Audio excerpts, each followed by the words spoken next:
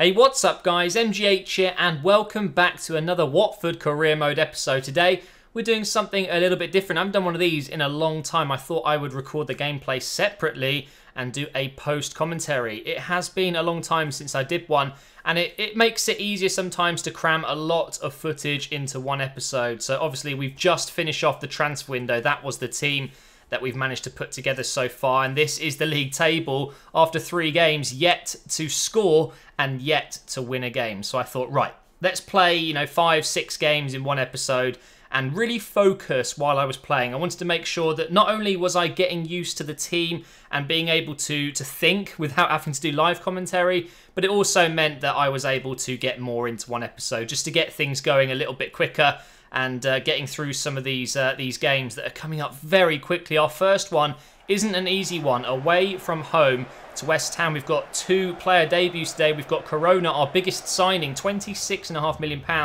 and Cosiello, the young Frenchman in midfield. And let me just say this now, guys. He scores, I think, one of my best goals on FIFA 17 in this episode. I cannot wait to show you that goal. And not only does he score a beautiful goal, he is just a delight to play with. He's got such good feet, great passing, and he, actually he takes part in this goal. What a way to open your season scoring with your left back, Robertson. I mean, he was a, a signing that I wasn't sure if it was worthwhile because his, his potential, I think, is only around 82, 83, and I could have gone for someone bigger and better. But actually, I'm really liking him so far. And here's Corona. I wanted to show you how he's looking like a very good signing as well. He's got some great skills. Five-star weak foot. We almost get very lucky there with uh, a defensive mistake from West Ham. But unfortunately, we couldn't capitalise. And here he is again going through down this right side. I think we're going to be seeing a lot of this where he's just terrorising defenders. But unfortunately, we ran it out of play there. And that was half time. So not a bad start to uh, our fourth game of the season. We finally get our first goal of the season. And uh, in the second half, I just wanted to finish this game off and just get my first win under my belt. And uh, away from home at West Ham, that is not a bad time to do it. And look at the space I've got here for my right back, JJ. Really, really like him as well. He reminds me of Aurier. And uh, he's very similar, very quick, very strong. But how Pereira hasn't scored there, I don't know. I actually subbed him off right away after that and brought on Kennedy and Ndidi, two players that definitely will feature heavily, probably as squad players, but Kennedy got straight away involved in the game and actually has a shot parried onto the post there by Adrian. Very, very close to getting our second goal, but unfortunately it only ended 1-0. Not the most exciting game ever, but guys, we got the job done.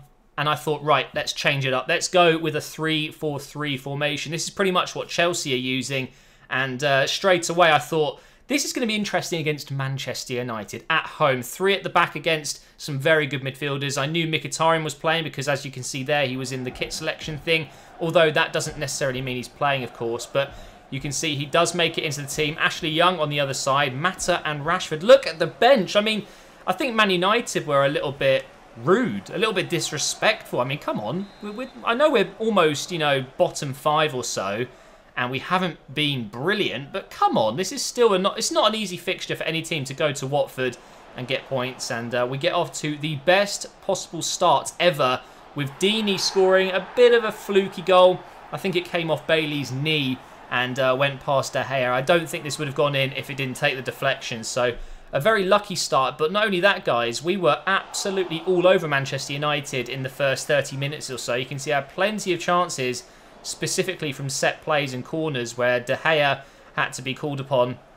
And then this happens. The ultimate ultra attack. I mean, this is a counter-attack of dreams from Manchester United. And Rashford just completely does me there and uh, scores a very nice solo effort and an assist from Mata. And Rashford is, is actually someone I've got my eye on, guys. I'm thinking maybe Rashford could be a potential signing at some point in his career mode. I'm yet to use him in FIFA 17, and I bet he's absolutely incredible um, but would he suit this lineup? I don't know. I think he, he kind of needs someone else up there with him. But anyway, into the second half here, Man United definitely started to play the better football. They were dominating the game, but we tried as many as many times as we could to get forward using the the uh, the three four three. And unfortunately, one of the main components of this formation, Corona on that right side, picks up a freaking injury. Of course he does. I get injuries constantly. And to make things worse, we get a yellow, uh, not a yellow card, we get a red card, and it's just it's so, so frustrating because I thought I was there. I thought I was going to win the tackle, but unfortunately not. Um, but luckily we do manage to survive to the end of the game there to pick ourselves up one point against a strong Man United team. But it's bad news, guys. Corona, our best signing and most expensive signing, is going to be out for 12 weeks. Three months on the sideline, and it means Emre Mor is going to have to step up. So, uh, talking of Emre Mor, I decided to play him up front in this game with Isaac Success, with Kennedy on the left. And I tell you what, I think I have found the deadly trio. Now, don't get me wrong, Corona will play, obviously, when he's back from his injury. But this actually might be a bit of a gift because now Emre Mor is going to get a lot of game time. And this guy is insane. Look at his pace there to get through the defence. Beautiful cross in for Success. And look at that, 35 minutes into this EFL Cup fixture against Leicester, we are 2-0 up and it's looking like we're going to go, uh, go ahead and progress through quite easily in this game. And there's half-time. Leicester really couldn't do anything. But then in the second half early on, I give away the ball to Amartey here. Tries to get away the shot. I tried to clear it. And uh, another shot comes in from Mendy. It's a bit of a mess. We managed to get it away. And then this happens. Vardy goes through on goal. And he's very, very deadly on FIFA. And it just goes wide. I thought that was it. They could have easily been 2-0 at this point.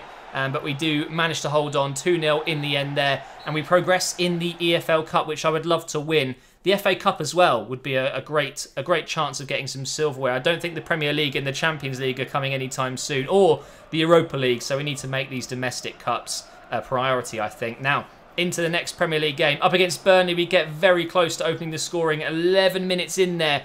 Isaac Success. What a striker this guy is. Already ahead of Deeney, if you ask me. I have to play Isaac Success. And uh, actually, in this game, I was trying out Success um, as not a target man. I thought I would try him as a player that was getting in behind, and it didn't seem to work. It seems better when he's holding up the ball, turning, and then running away from defenders. But as you can see, nil-nil late into the second half here. Burnley almost score a header with Boyd. It was just one of those games where I had loads of chances, but just could not put them in.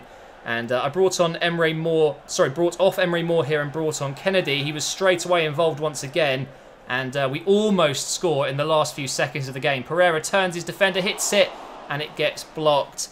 But it wasn't over there, guys. There's always a good chance that I will slide in and get myself another red card. But look at this. What the hell? That is a brilliant challenge from my signing Lindelof. The big, Ger not the big German, the big Swedish giant. He is such a good defender, but I, I don't understand where the ref is coming from. I thought that was a very, very good tackle. You can go back and see it.